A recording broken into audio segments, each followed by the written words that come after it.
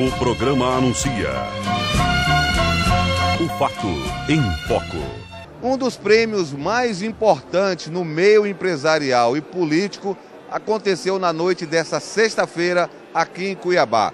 Eu estou falando do Top Empresarial. E nada melhor para falar da décima edição do Top Empresarial 2019 do que sua criadora. Eu estou falando da jornalista e empresária Edna Araújo. Estamos chegando à décima edição graças à credibilidade, graças aos parceiros, principalmente os empresários que investem em Várzea Grande Cuiabá para desenvolver os dois municípios. E nós estamos muito, muito felizes porque chegar à décima edição, na crise que nós estamos, com todas as dificuldades, não é fácil, tem que ter muitas, muita perse, é, perseverança e principalmente amor o que faz, né? senão você desiste. Um dos homenageados nessa noite aqui, nessa noite top empresarial, foi João Carlos. Ele é presidente da AMAD, Associação Mato Grossense de Distribuidores de Mato Grosso.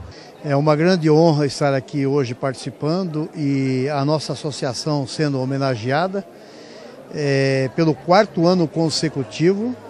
Nós temos só que parabenizar a Edna, o Grupo VG Notícias, por esse evento. É uma honra está aqui representando toda a nossa categoria. O senador Jaime Campos veio prestigiar o evento, falou da importância e parabenizou a iniciativa aí da Edna Araújo. E isso é importante, é porque dá administração, da valorização, sobretudo daqueles que têm, de uma forma efetiva, participado né, de todas as atividades que buscam o desenvolvimento, sobretudo boas práticas de políticas sociais para o nosso Estado. Representando o governo do Estado, o governador Mauro Mendes Beto 2 a 1 veio trazer aí o abraço e o apoio do governo do estado e também falou da importância desse prêmio e parabenizou aí a Edna Araújo. Prazer estar aqui representando o governo do estado, o governador Mauro Mendes, numa festa importante como essa, uma, uma festa que está há 10 anos aí mostrando, incentivando, parabenizando, premiando. Então a Edna, toda a sua equipe, VG Notícias, de parabéns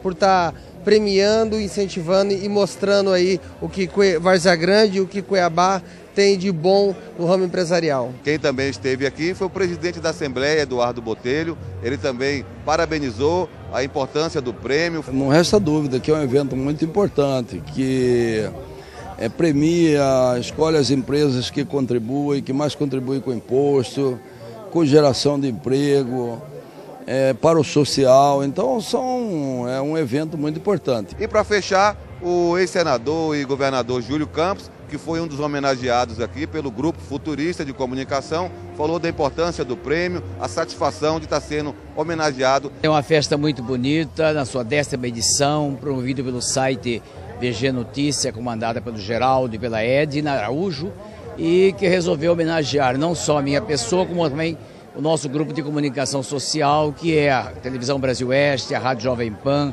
a Rádio Nativa, bem como também o, Grupo Futurista de Comunicação no total. Eu estou aqui agradecendo essa homenagem e dizendo que vamos continuar crescendo, melhorando e fazendo com que a comunicação social de Mato Grosso seja realmente para valer.